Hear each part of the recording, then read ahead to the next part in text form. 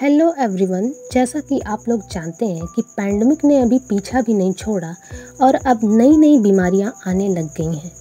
तो मैं आप लोगों को बताने वाली हूँ what is the causing of black fungus let's get started bread में जो फंगस पाए जाते हैं, उसी को ब्लैक फंगस कहते हैं।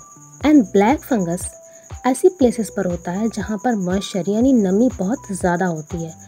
हमारी बॉडी में black fungus, nose, mouth eyes के थ्रू इंटर करते हैं।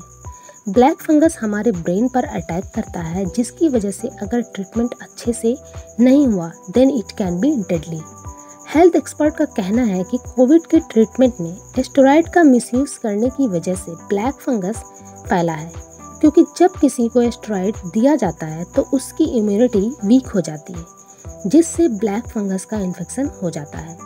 एंड अगर कोई कोविड का सीरियस पेशेंट है तो उसको एस्ट्रॉयड की डोज ज़्यादा दिया जाता है।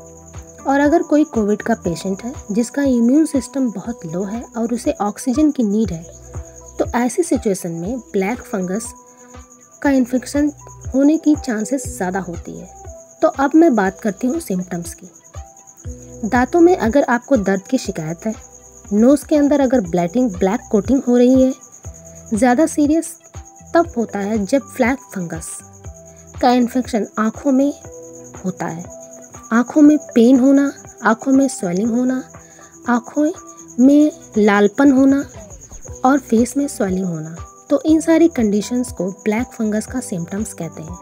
और ये सारे इन्फेक्शन के बाद इस फंगस का इन्फेक्शन सीधा हमारे ब्रेन पर अटैक करता है, जिससे सिचुएशन आउट ऑफ़ कंट्रोल हो जाती है। बट टेंशन लेने की कोई बात नहीं है। ये सब तब होता है जब आपकी इम्यूनिटी बहुत वीक होती है। सबसे पहला सिम्टम्स है नोज़ में ब्राउन डिस्चार्ज होना। सो अगर ऐसी कोई प्रॉब्लम आपको भी है तो प्लीज़ प्लीज़ जल्दी से डॉक्टर को कंसल्ट करें इसे हल्के में ना लें। सो so, कैसा लगा आपको जानकर मुझे कमेंट सेक्शन में ज़रूर बताएँ। And please don't forget to subscribe my channel